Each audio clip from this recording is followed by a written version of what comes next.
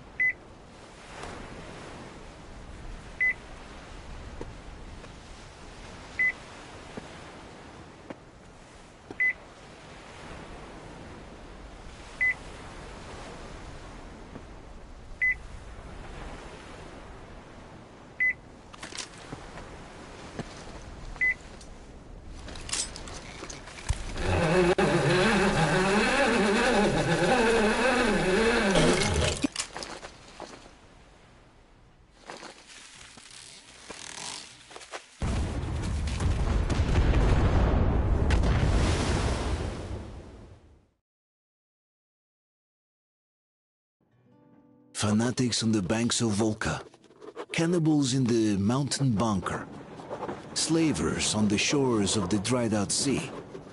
How many monsters has the war given rise to? Or perhaps were they always there? And the war simply gave them a chance to show themselves and now we're stuck with them forever. Regardless, we can't afford to lose hope. We are getting ever closer to our dream. Finding a place where we could live free from radiation and mutants. The maps we recovered in the desert have provided us with several promising options, and now the crew members are excitedly waiting for the Colonel's decision on where the Aurora should go next. Currently, though, the train is calmly rolling eastward. The crew rests, and Stepan proposed to Katya. It was a proposal she couldn't refuse.